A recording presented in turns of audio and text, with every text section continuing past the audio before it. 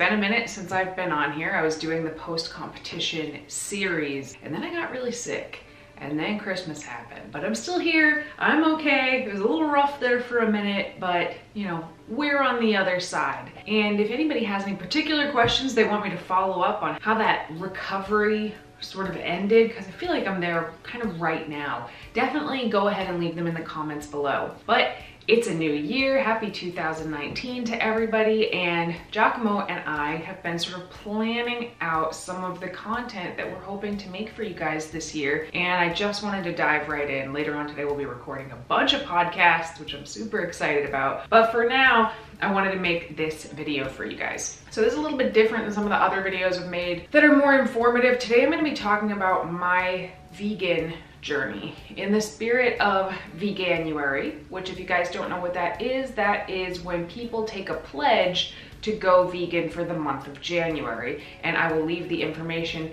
in the description below if you wanna check that out. Hopefully by this time this comes out, you'll only be like a week into January or so. There's still time. But when we travel the country and go to the fit expos, I give this talk a lot actually about how I became vegan and some of the changes that happened in my life because of it. So I was raised in a very poor household. We were constantly trying to make ends meet. We ate what we could get our hands on, and a lot of times that was really unhealthy food. Things like tons of ramen, boxed mac and cheese, frozen hot dogs, flaked potatoes. Like, true story, I actually didn't know that mashed potatoes didn't come out of a box.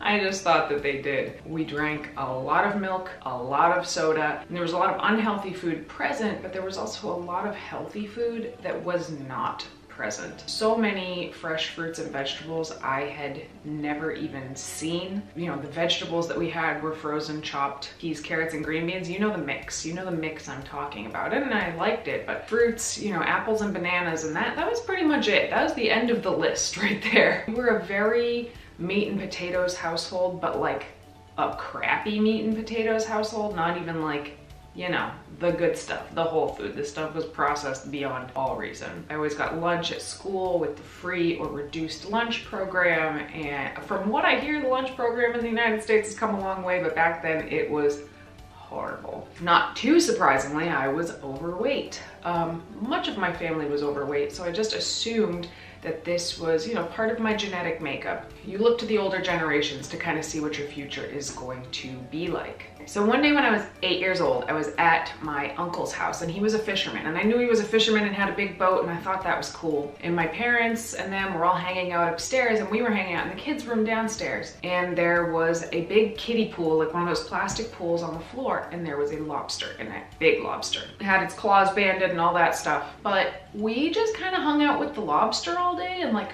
played with it all day. You know, lobster's pretty cool. And uh, not too surprisingly to anybody but a bunch of six-year-olds, that lobster, eventually someone came down, grabbed it, took it upstairs, and threw it in a pot of boiling water. And that was so upsetting to me as a little girl and I remember crying and screaming. It was horrifying. I remember later on in the week trying to talk to my mom about it and being like, why did you guys do that? She was like, well, people eat animals, honey. And it was the first time I had realized that, you know, chicken nuggets were actual chicken. Now you have to remember we were like so far removed from what real food was in the first place. I didn't grow up on the farm. It didn't even occur to me that a chicken nugget came from a chicken. So I remember, again, this conversation, I remember it so vividly sitting in the car with my mom and her telling me, well, honey, we eat animals. And I said, but do we have to eat animals? And she said, no, there are some people who don't eat animals. And I said, then why do we eat them? And she said, well, honey, because we do. And that was the conversation right there.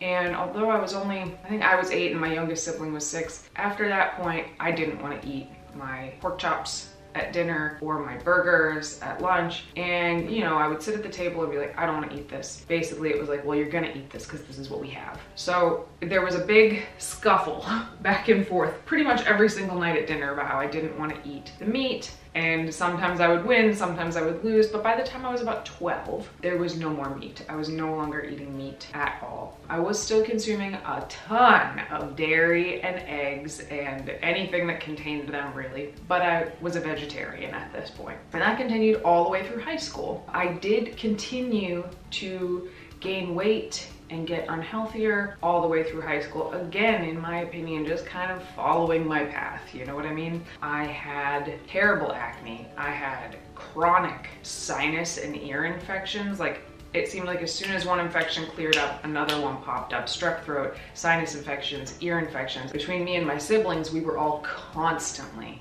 on antibiotics. And by the time I was 16 years old, I was about 210 pounds, five foot seven, 210 pounds. And I remember the day I went to the doctor and stepped on the scale and saw that and I was like, oh my God. At this point, I was a junior in high school doing the stupid things that juniors in high school do. And basically one of my afternoon rituals was just to uh, get high and go across the street and get Domino's cheesy bread and Ben & Jerry's Cherry Garcia ice cream and like house that. Because I was vegetarian. It didn't occur to me that perhaps that was part of the reason that I was growing so rapidly. And then uh, early in my senior year of high school, I was writing a research paper for my AP English class and we got to pick what we wanted to research. And I decided to do my paper on vegetarianism. And I stumbled across this website and I think it was like govegan.org or govegan.net and Sarah Kramer, who wrote How It All Vegan, I believe had a big hand in this, so I want to give her credit for that. I stumbled across this website. I had never even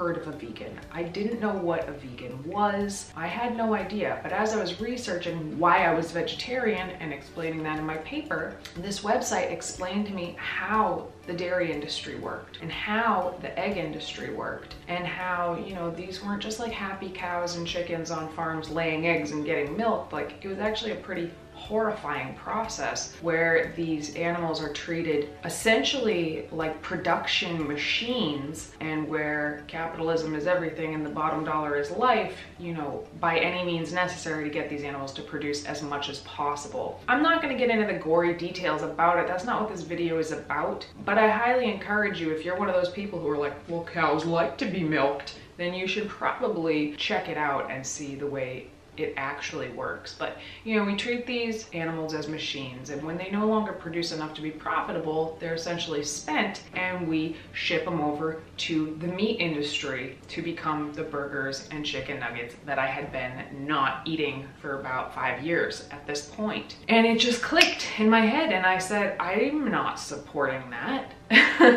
and literally overnight, I went vegan from there. So from an obese teenager who lived basically off of dairy and eggs, produce had still not really made its way into my life to, all right, well, I guess I don't eat dairy and eggs anymore. And again, didn't know a vegan, didn't know what a vegan was until that day. And uh, I had no idea what I was doing. All I knew was what I was no longer eating. And what this meant was I would go to school and instead of getting pizza like I would normally get for lunch, lunch, I was getting a plain bagel and putting mustard on it. Every, I remember how horrified everybody was by that. First of all, a bagel with mustard is essentially just a big pretzel. So hmm, I'll put that out there right now, you. And I was eating bagels, I was eating french fries, I was still eating predominantly crap. It was just vegan crap. But something happened at this point and a few months later I went vegan in October, I remember that. And by January, I was down 30 pounds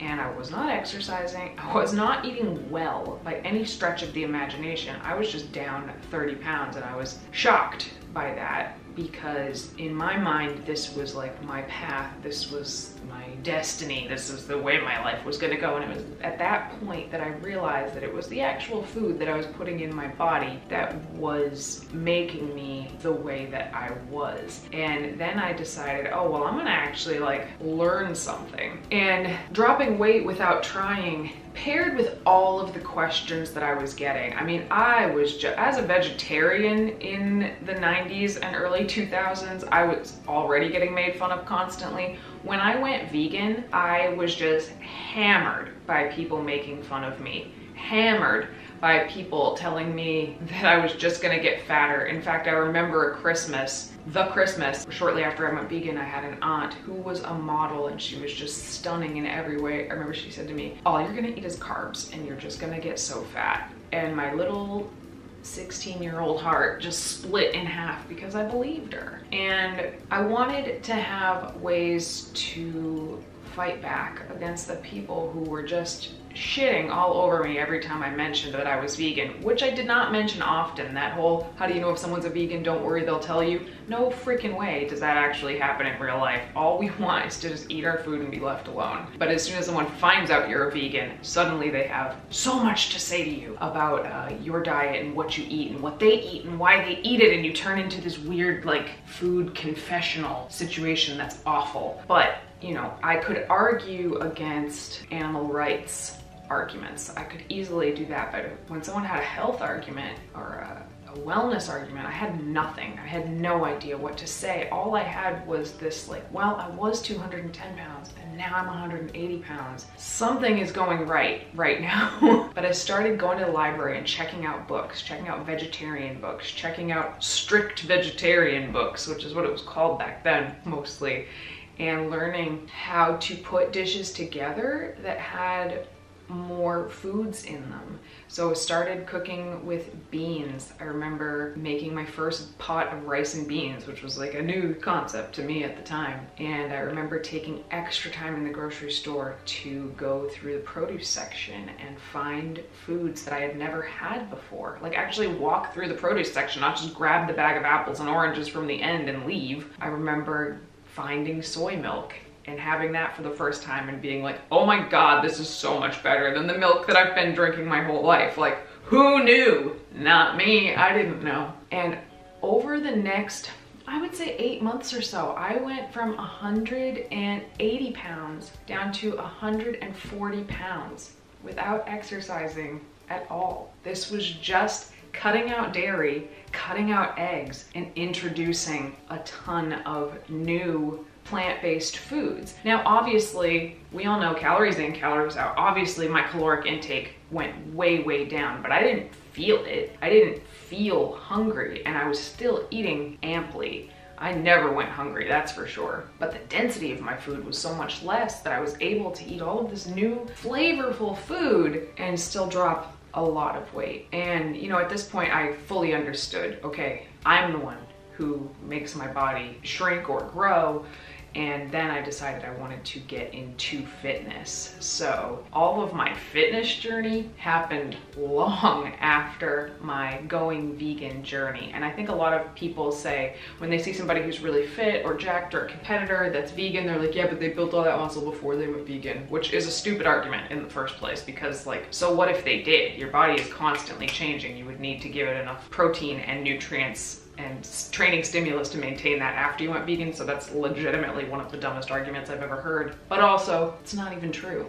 A lot of people were vegan before they got into fitness, like myself. My fitness journey is kind of its whole other thing, but you know, being vegan did play a huge role into why I am the coach that I am today. It's because nobody could help me with like fitness type of nutrition. Nobody could help me with that at all they could help me learn how to lift. But when I was like, okay, well, how do I eat to maximize like muscle gains and strength? They were like, well, you can't because you're vegan. That was back in 2006, I want to say that those conversations started happening. So if anybody wants to know more about that particular story, which would be its whole own separate video, let me know because uh, I think that's where it starts to get really, really interesting. But just to come back to like my whole going vegan story, one of the big things and misconceptions and fears I think people have is that when they go vegan, they're going to eat nothing. They're going to have limited their palate and their plate so much that they're going to feel deprived all the time. And let me tell you, I went vegan back in 2003 as a 17 year old who knew nothing.